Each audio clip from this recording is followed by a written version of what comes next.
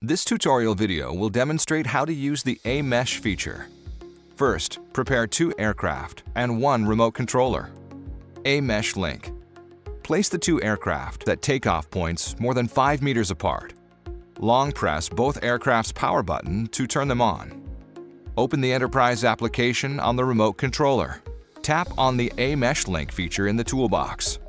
Select Add Device and follow the instructions short press and then long press the aircraft power button. The rapid flashing of the aircraft arm's light indicates that it has entered A-Mesh link mode. The remote controller will display that the two aircraft are connected. Tap Complete to confirm the linking process, then linking is completed. Return to the main menu. Once the video transmission interface appears, you can use the A-Mesh control. A-Mesh control the All option at the bottom of the remote controller indicates multi-aircraft control mode. You can also individually control each aircraft. Tap All to enter multi-aircraft control mode. Then long press the takeoff button on the remote controller. Both aircraft will start their motors and take off simultaneously. You can also manually start their motors and take off both aircraft by the control sticks. After a successful takeoff, it is recommended to ascend to over 30 meters and enable the Formation Flight feature. Formation Flight Tap the Formation Flight feature in the toolbox. Ensure that both aircraft obstacle avoidance enabled. After enabling Formation Flight, the aircraft will automatically form a formation and align their direction. You can control the formation flight by using the remote controller. You can also adjust the distance between the two aircraft.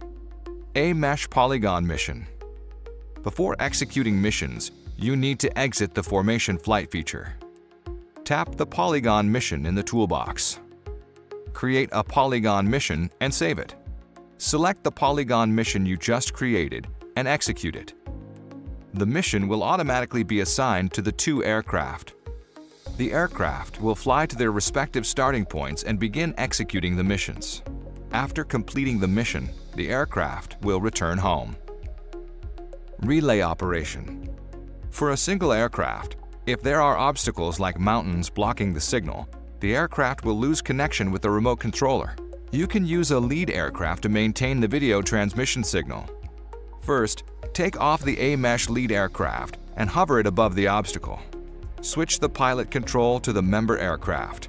Then fly the member aircraft to the mission area you will see that the video transmission of the member aircraft is normal, and the signal is not affected by the obstacle. Now you can continue to assign missions to the member aircraft.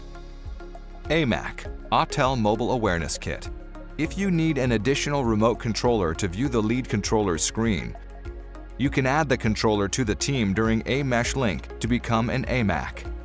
After A-Mesh Link is completed, the AMAC can view the lead remote controller's screen synchronously the AMAC does not have the ability to control the aircraft.